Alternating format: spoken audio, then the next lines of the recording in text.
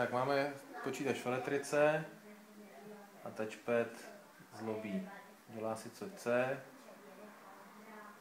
Toto vypnu z elektriky. Touchpad funguje normálně. Ještě to jednou vrátím. Jo, touchpad funguje normálně. Vrátím to do elektriky. A opět touchpad nefunguje, dělá si co chce.